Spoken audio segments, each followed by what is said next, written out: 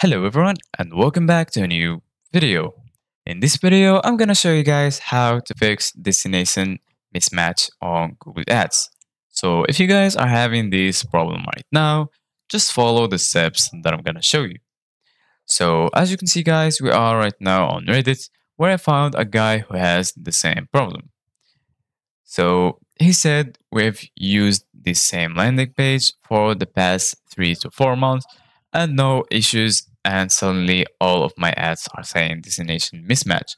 I look at display URL and final URL and they are pretty much the same. Even my ads which goes straight to the website is being disapproved now. Could this be an IT issue from my end and what could my IT have done to cause this or is it a Google Ads issue? I just type my URL and the path is correct. So as you can see guys, a lot of people are having the same problem. This guy says I work at an agency and we're seeing this on a lot of accounts starting late this evening.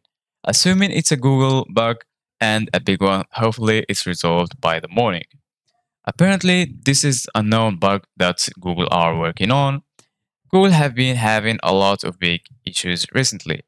Got to wonder what, what they're doing to keep breaking everything.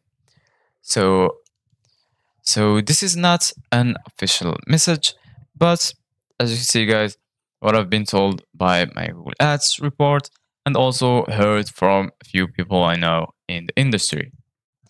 So as you can see, guys, a lot of people are saying it's a bug from Google. So the only way to fix this problem is waiting for Google to fix this bug. So this is guys for today's video. Thank you guys for watching. See you guys in the next